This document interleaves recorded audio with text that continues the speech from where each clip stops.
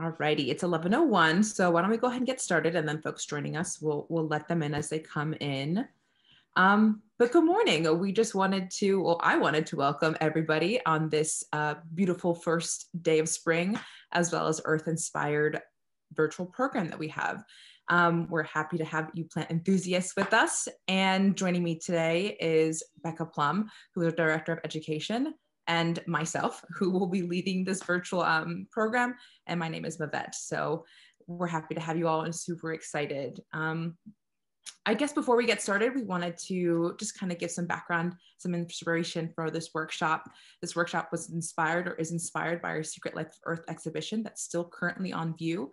Um, our museum is still open um, or is currently open Wednesday through Sunday from 10 a.m. to 5 p.m. So if you want to check out this exhibition, please do so if um, you feel comfortable and safe to do so.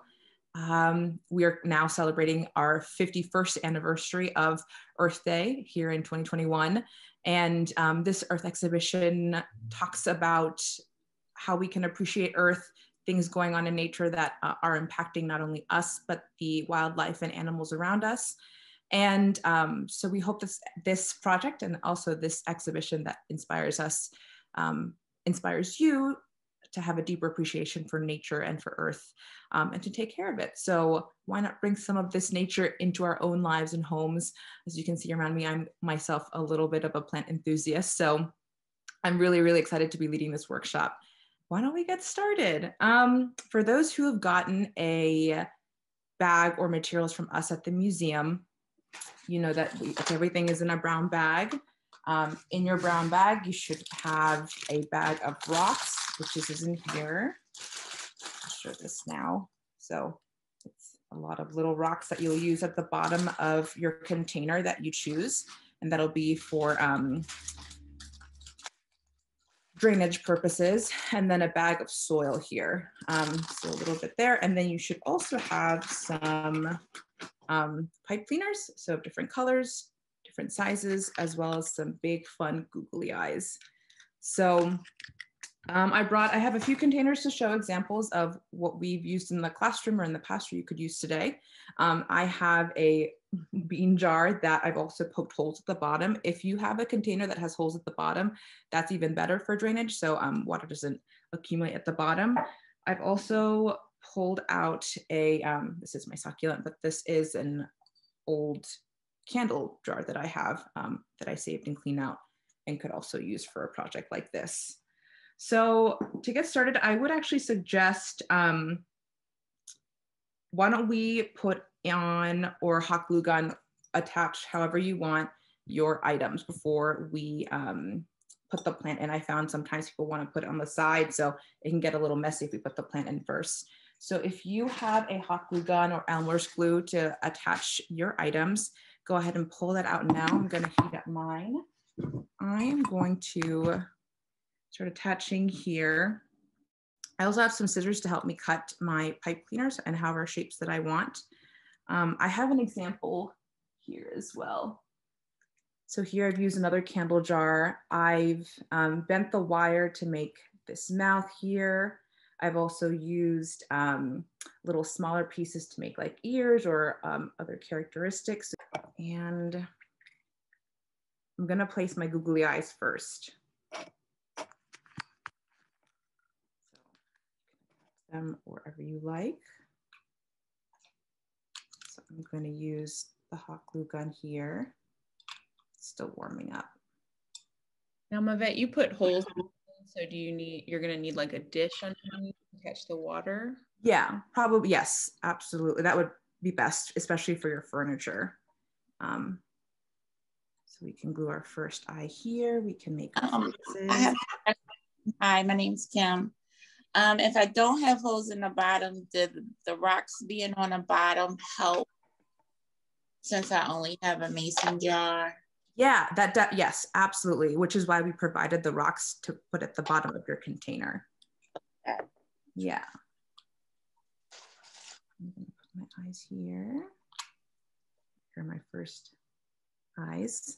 It almost looks like a mouth here. It's kind of funny. It's almost like that totally looks like the mouth. That's pretty Yeah, maybe I'll just make a big nose. Yeah, you can glue anything you want really on your succulent. We just thought the eyes and the pipe cleaners would get you started. Yeah, if you have other materials, um, sequin stuff, if you've. I have another question. Can you also use sand? Yes, you can. Um, actually, succulents really like sand or really um, high drainage um, soil or, or material. So sometimes even if you mix some of that sand into the soil that we provided or a specific soil type for succulents, that actually helps with drainage a lot. So um, yeah, soil, I know perlite is a, a separate um, material that you can add. It comes in your soil naturally, but if you wanna add that extra drainage, um, perlite is something that you can add to your soil mix. Would the sand go closer to the rocks or closer to the top of the plant?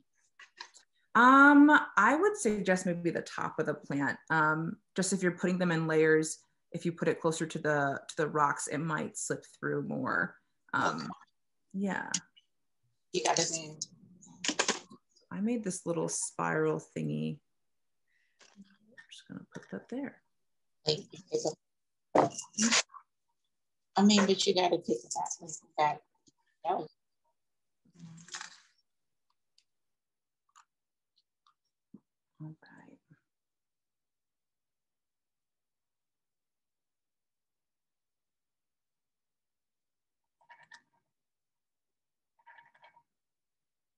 So we're gonna put in, I was just about to move on to there um, and start layering. I know it's a little hard to see, but I was gonna place it into, oh, my eye fell off. I'll put that back on, into my um, Just one eye. I can show you, I'll start, before I put that back on, I'll start layering in here. So to start, I'm going to pour a layer of rocks at the bottom.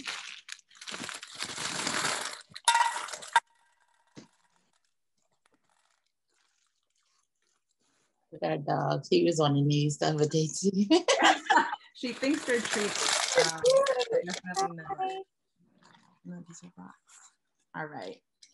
So I would say maybe like a couple centimeters deep if you can make it. Um, a good nice little bottom layer here, depending on how wide your container is too. Um, because maybe this one is a bit of a taller one. I'm actually gonna put my plant in first and then try to go around the sides and push the soil down. So I'm going to pull here and the top. Maybe I'll flip it over first.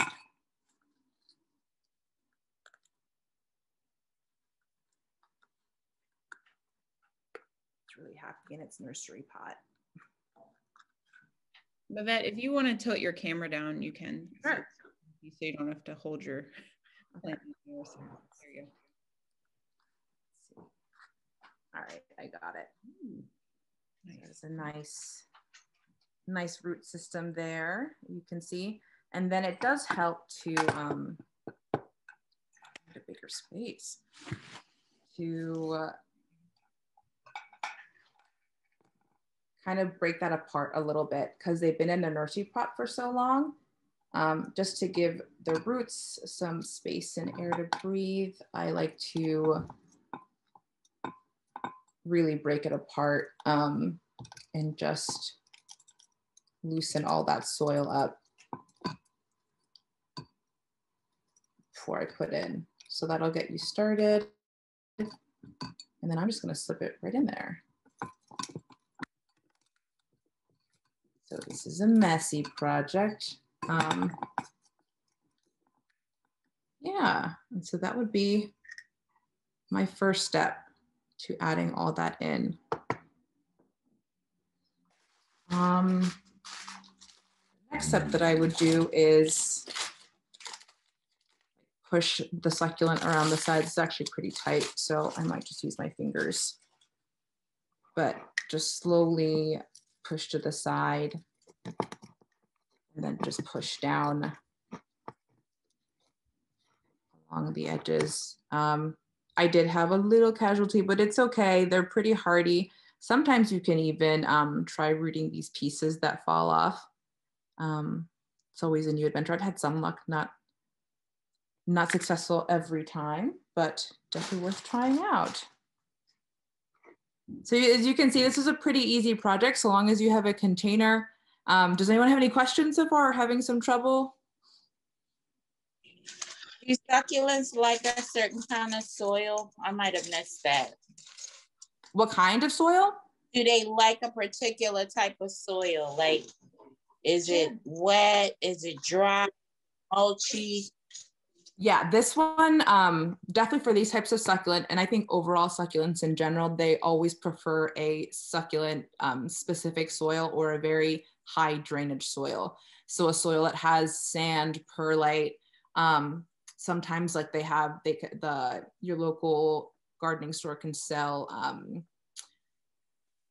what is it um, like mulch type that mix that you can put in there too. That all helps with the drainage. So um, you really want to avoid moisture retaining soil, which is typically what we buy for our houseplants that help um, keep them moist or keep the, the roots wet longer. Um, so yeah, definitely a, a, drier soil or a high, high drainage soil.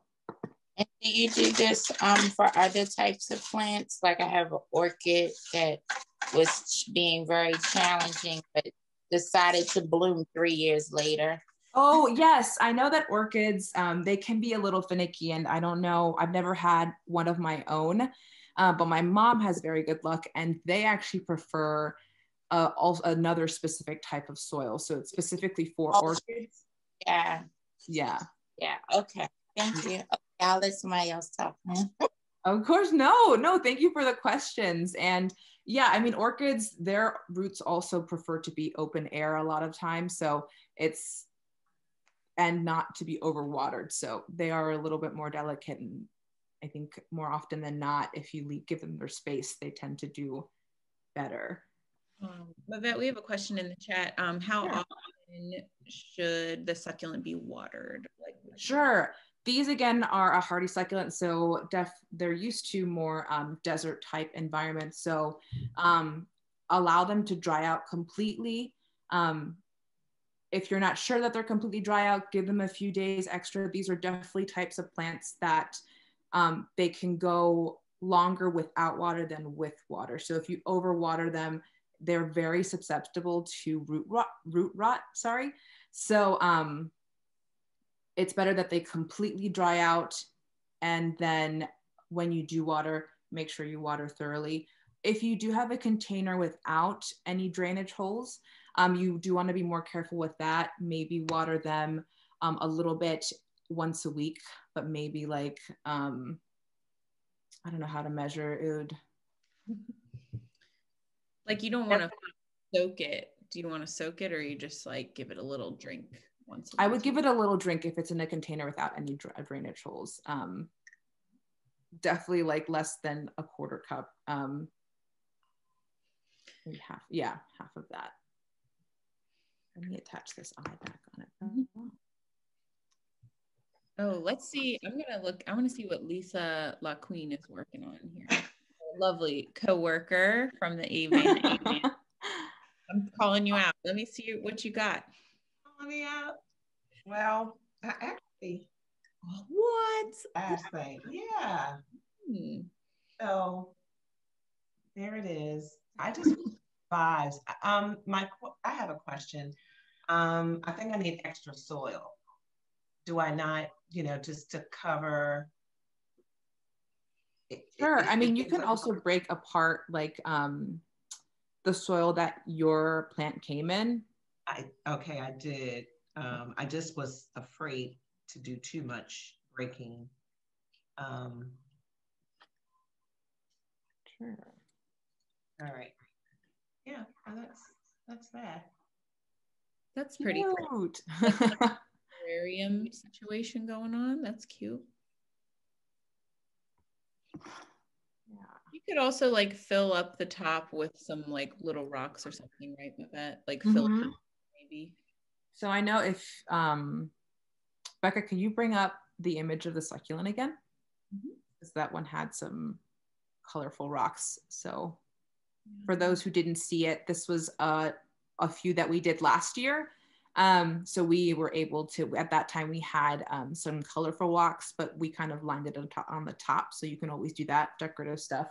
Um, and then here you can clearly see the, the layers. Um, I chose a bad example today, but here you can see the bottom layer for drainage and then the rest uh, of the soil for the succulent itself. Let me share, I think I have another image. Sure.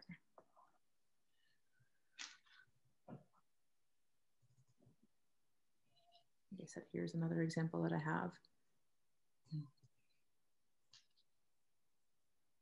Yeah, and then I know that um yeah, our group from last year. so you can make a tiny fun of like funny faces um depending on what type of mood you're in.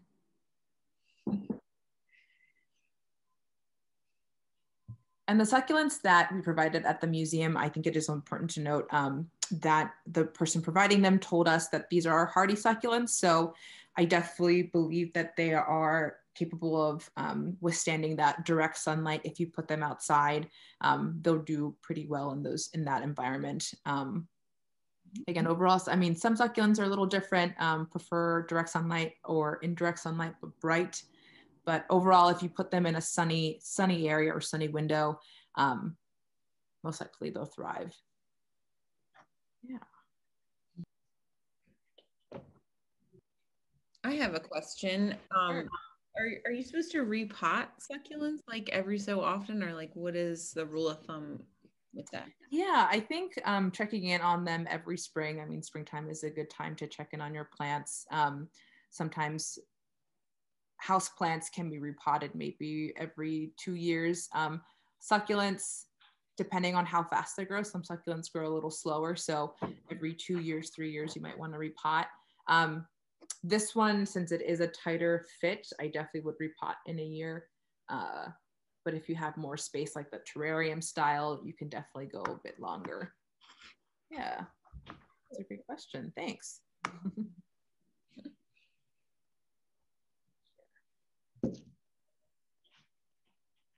Careful with your hot glue gun.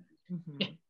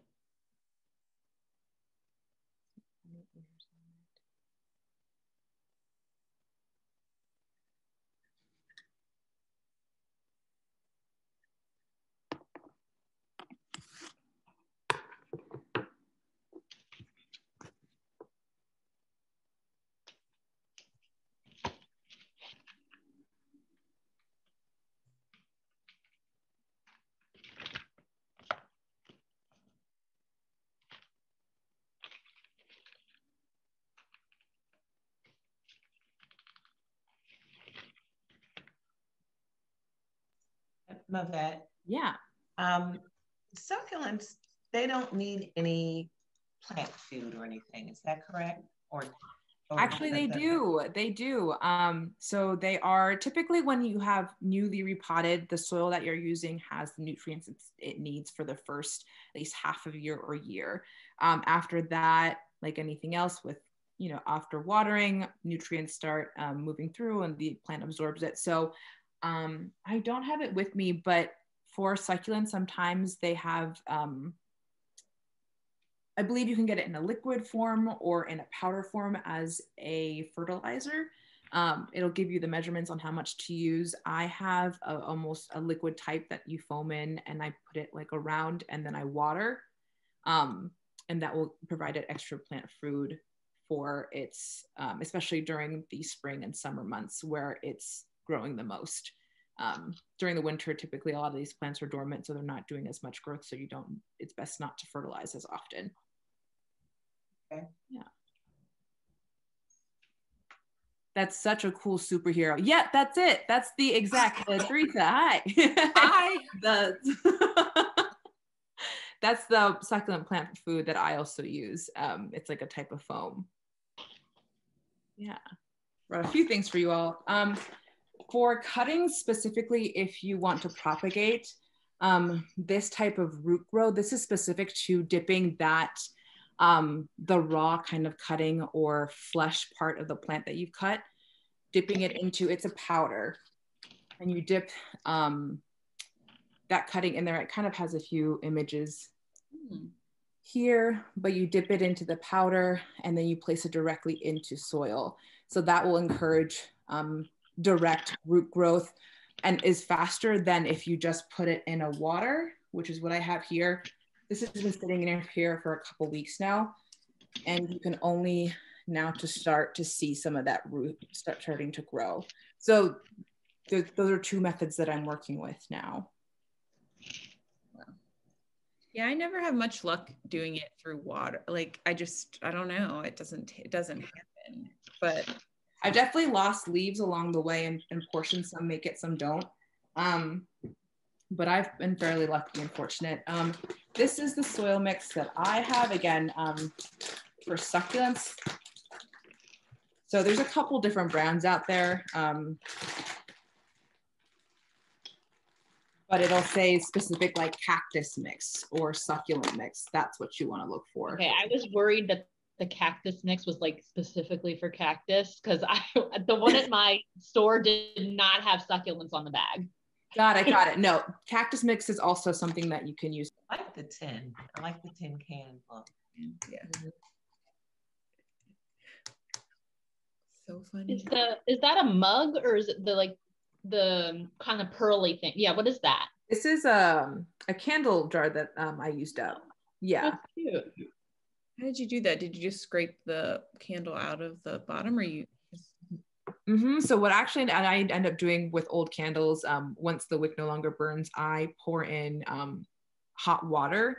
Um, I boil some water, I pour that in there, and the wax comes up to the top. And so once it hardens, there's like a layer of wax that I can just plop off, and then I'll clean out the rest. Mm-hmm. That's a container. That's great because we always want to think about how to reuse all these you know, containers that we have at home. Exactly. Just had beans this morning. That's what I'm using this.